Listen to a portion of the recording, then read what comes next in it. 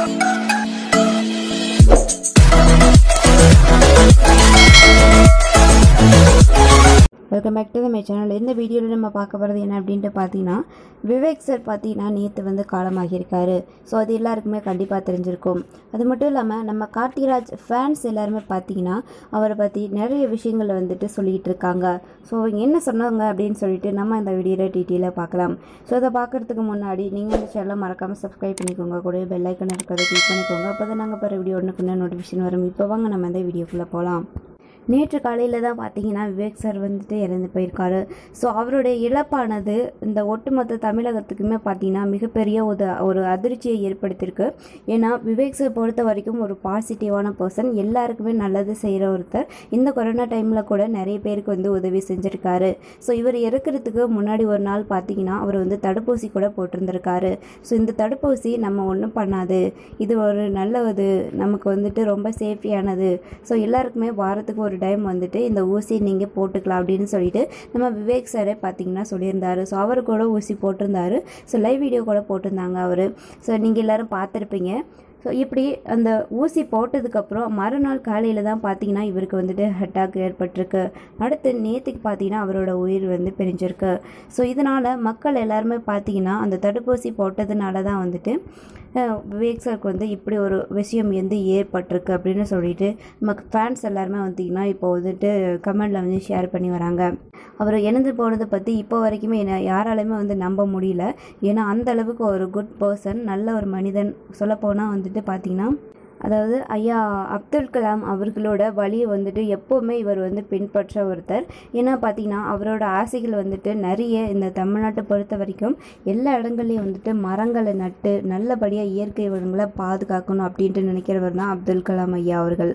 அதே மாதிரி நம்ம விவேக் சாரும் பார்த்தீங்கன்னா அவர் இறக்கிறதுக்கு முன்னாடி நாள் கூட அவர் ஒரு மரக்கொன்றை நட்டுட்டு தான் வந்துட்டு இன் இப்படி வந்து அவர் வந்து இறந்து போயிருக்காரு. ஸோ அவரோட இறுதி ஊர்வலத்தில் கூட பார்த்தீங்கன்னா அவரோட ஆசை கண்டிப்பாக நிறைவேறணும் அப்படின்னு சொல்லிட்டு இளைஞர்கள் மரக்கன்றுகளை கொண்டு அவர் பின்னாடி போயிருந்திருக்காங்க. அது மட்டும் இல்லாமல் இந்த கொரோனா டைமில் கூட பார்த்தீங்கன்னா நிறைய பேருக்கு நிறைய உதவிகள் எல்லாம் செஞ்சுருக்காரு.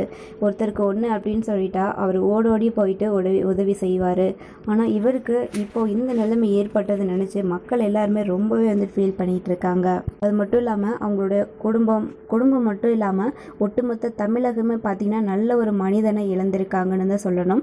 அவர் வந்து இறந்து போனாலும் இந்த உலகத்தில் அவரோட உயிர் இல்லை அப்படின்ட்டாலும் அவர் செஞ்ச அந்த ஒரு ஒவ்வொரு விஷ் நல்ல விஷயங்களுமே கண்டிப்பாக அதில் ஒவ்வொரு இடத்துலையுமே அவர் கண்டிப்பாக வாழ்ந்தது வாழ்ந்துட்டு தான் இருக்கார். ஏன்னா அவரு அவ்வளோ நல்ல விஷயங்கள் எல்லாம் பொது பொது சமுதாயம் இந்த மாதிரி விஷயங்கள் எல்லாம் பார்த்திங்கன்னா நிறைய விஷயங்களை வந்து நல்லது செஞ்சுருக்காரு.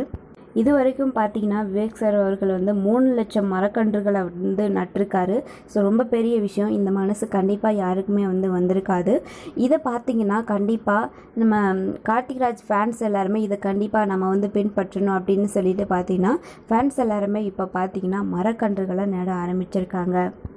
விவேக் அவர்கள் இறக்கிறதுக்கு முன்னாடி கூட பார்த்தீங்கன்னா அவர் ஒரு லைவ் வீடியோ வந்து போட்டிருந்தாரு.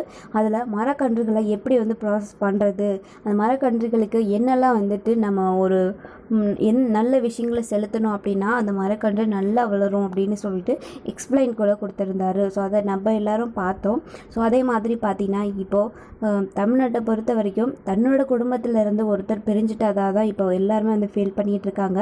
ஏன்னா எல்லா குடும்பங்களையும் சிரிக்க வச்சிட்டு இருந்த ஒரு மனிதன் இப்போ அவருடைய முகத்தில் சிரிப்பு இல்லாமல் போயிட்டாரு அப்படின்னு சொல்லிட்டு மக்கள் எல்லாருமே ரொம்பவே வந்துட்டு கவலைக்கிடமாக இருந்துட்டு இருக்காங்க ஸோ அவரோட ஆத்மா நல்லபடியாக வந்துட்டு அவருடைய ஆத்மா நல்லபடியாக சாந்தி அடையணும் அப்படின்னு சொல்லிட்டு நம்ம காட் கிட்டே ப்ரே பண்ணிக்கலாம். ஓகே ஃப்ரெண்ட்ஸ் இந்த ஒரு க இந்த ஒரு வீடியோ பார்த்துட்டு உங்களோட கருத்துக்களை கமெண்ட் செக்ஷனில் ஷேர் பண்ணுங்கள் கண்டிப்பாக நீங்கள் விவேக் சாரோட ஃபேன்ஸாக இருந்தீங்க அப்படின்னா கண்டிப்பாக உங்கள் சைடில் நீங்கள் ஒரு மரக்கன்றுகளை நடுங்க. ஏன்னா அப்போ தான் வந்துட்டு நம்ம விவேக் சாரோட அந்த ஒரு கடைசி ஆசை வந்துட்டு கண்டிப்பாக நிறைவேறும். So okay friends thank